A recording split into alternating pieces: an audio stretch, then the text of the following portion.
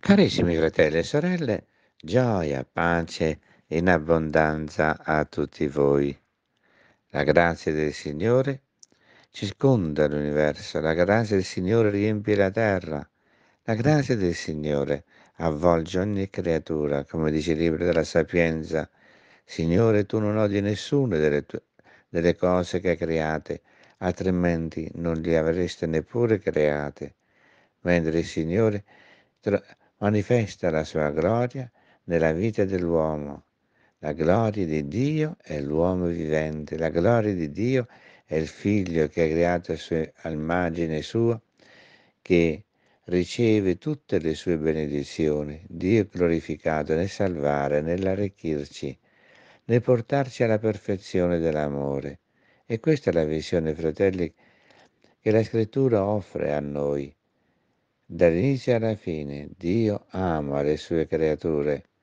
Per questo il Figlio di Dio scende nel mondo, viene ad assumersi i peccati degli uomini per portare tutti a salvezza. Noi invochiamo lo Spirito Santo. Vieni Spirito Santo, Spirito di Dio, Spirito d'amore, entra nella nostra vita. Spirito Santo manifesta la gloria del Padre Manifesta la gloria del Figlio di Dio, Gesù Cristo, Signore nostro. Manifesta la tua presenza e conduce ogni uomo ad essere immerso nella luce che rischiare, che illumina, che vivifica, che santifica e glorifica ogni creatura che accoglie il Figlio di Dio fatto uomo. Spirito del Signore, guidici anche alla comprensione della parola di Dio, che Lui rivolge continuamente a noi perché ogni parola sia vita per noi, sia fonte di salvezza e di grazia. E tutto salga lode gloria di Dio Padre del Figlio suo Gesù Cristo. In te, Santo Spirito, tutto sia rinnovato e santificato. A Dio sia la gloria per tutti i secoli dei secoli. Amen. Un principio, fratelli, che abbiamo meditato nei giorni scorsi è che Dio è amore e che Lui è solo amore e che vuole donarci soltanto amore, ma non l'amore languido, svenevole, che è manifestazione di, di sentimentalismo. Dio è amore, è vita, è la vita e pro, come tale ama ciascuno di noi. Non solo ci ama, ma vuole agire e vuole operare verso di noi. Vedete, la nostra mente umana è legata alla legge, perché tutto è regolato da leggi, norme, regole, come dice Sant'Antonio di Padova, citando il libro della Sapienza. Dio ha disposto ogni cosa secondo ordini, pesi e misure, ma non ha rinchiuso la sua misericordia in queste cose, anzi tutto è rinchiuso nella sua misericordia che risplende dappertutto dice il santo, anche nell'inferno non facendo soffrire i dannati tutta la pena che si sono meritati. Questa grazia del Signore non viene rinchiuso dentro i limiti, perché Dio è grazia. Quando tu incontri Gesù, incontri la grazia di Dio e questa grazia vuole operare. Noi appunto abbiamo una mente legata alla legge e allora siamo dominati dal senso del dovere cosa dobbiamo fare. Anche nei riguardo del Signore ci chiediamo sempre che cosa devo fare.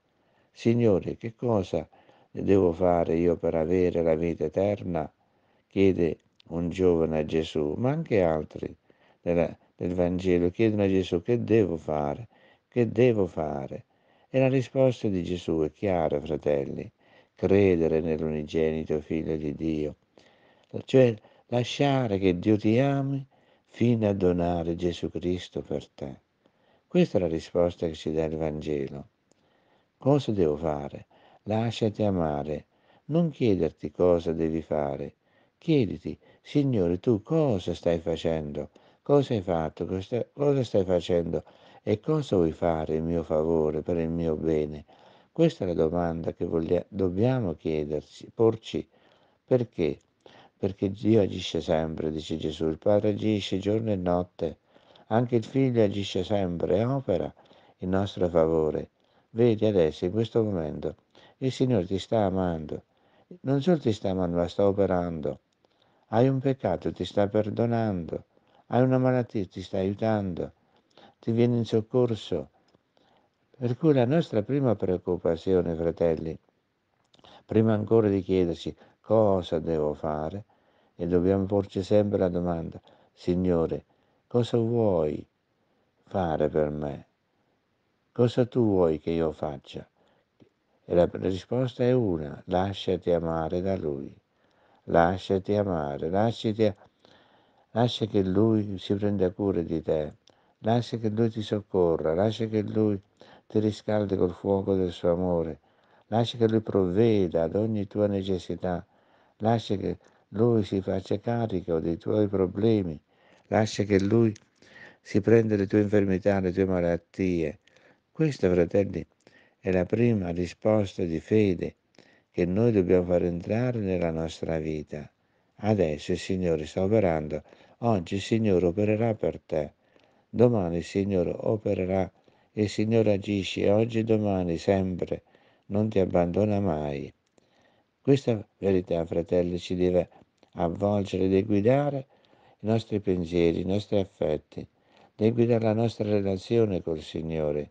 Quando noi ci presentiamo davanti a Dio, presi dai doveri, ci sentiamo tarpati limitati, incapaci di assolvere tutte le necessità della parola di Dio, ma dobbiamo metterci sotto l'altro, dall'altro punto di vista. Lui sta operando per me. E allora la parola che il Signore ci rivolge è il frutto del suo amore. Nel libro dell'Apocalisse che noi leggiamo oggi nella messa, troviamo una visione di San Giovanni che vede due testimoni. Questi sono due olivi e due candelabri che stanno davanti al Signore della terra. Se qualcuno pensasse di fare loro del male, uscirà dalla loro bocca un fuoco che divorerà i loro nemici. Così deve perire chiunque pensi di fare loro del male. Essi hanno il potere di chiudere il cielo, ricordate il profeta Elia, non fece piovere per tre anni e sei mesi, tre anni e mezzo, perché non cade pioggia nei giorni del loro ministero profetico. Essi hanno anche il potere di cambiare l'acqua in sangue e di colpire la terra con ogni sorta di flagelli, come avvenne per mezzo di Mosè tutte le volte che lo vorranno. E quando avranno compiuto la loro testimonianza, la bestia che sale dall'abisso farà guerra contro di loro, li vincerà e li ucciderà. I loro cadaveri rimarranno esposti sulla piazza della grande città, che simbolicamente si chiama Sodoma d'Egitto, dove anche il loro Signore fu crocifisso. Uomini di ogni popolo, tribù, lingua e nazione vedono i loro cadaveri per tre giorni e mezzo e non permettono che i loro, cadaveri, che i loro cadaveri vengano deposti in un, in un sepolcro. Gli abitanti della terra faranno festa su di loro, si rallegrano e si scambiano doni. Cosa voglio di, dire Signore con questo, fratelli? Certo il libro dell'Apocalisse è molto misterioso, ma sta a indicarci che Dio manda la sua verità sulla terra, ma le potenze del male si combattono il bene fino a farlo soccombere. E questa è l'impressione che tanti anni che il male trionfi. Oggi, fratelli, voi vedete anche in mezzo a ragazzini, bambine, eccetera, la volgarità, la sensualità si sta diffondendo, i valori dello spirito, dell'amore vengono soffocati. Ma cosa dice qua il testo? Che questo ha un termine. Il male si scatena perché gli rimane poco tempo. Il male si scatena, ma non può vincere. Può avere la, l'apparenza della vittoria, come dice la Madonna in più riprese nelle sue manifestazioni, alla fine il mio cuore immacolato trionferà. Proprio quando il male sembra dominare, viene distrutto perché grande è la potenza di Dio Ecco perché noi in questi giorni di tristezza, di paura, di sofferenza dobbiamo fissare lo sguardo su quanto il Signore sta facendo, sulla potenza di Dio che vuole fare nuove tutte le cose, santificarci, portarci alla perfezione. A Lui sia gloria per i secoli eterni. Amen. Signore Gesù, Tu sei questo testimone fedele che porta salvezza all'umanità intera. Gli uomini hanno cercato di distruggerti, ma tu sei il vincitore, sei il risorto, il vivente per l'eternità e non vuoi più morire perché vivi per il Dio. E tu chiedi anche a noi di considerarci morti al peccato, ma viventi per il Dio in Cristo Gesù, nostro Signore. A te, Vergine Santissima, fissiamo il nostro sguardo d'amore. Tu sei l'altro testimone che in mezzo alla terra suscita speranza all'umanità intera e a te facciamo ricorso, sapendo che in te c'è la pienezza della grazia che tu condividi con tutti noi fino a condurci alla pienezza della vita. Tutto questo alle glorie di Dio Padre e del Figlio tuo Gesù Cristo, che vive e regna come sovrano per tutti i secoli dei secoli. Amen e la gloria del Signore risplende su di voi, fratelli, e niente abbia a turbare, neanche le potenze del male che si scatenano, abbiano a turbarvi, perché la gloria del Signore è la nostra vittoria. Amen.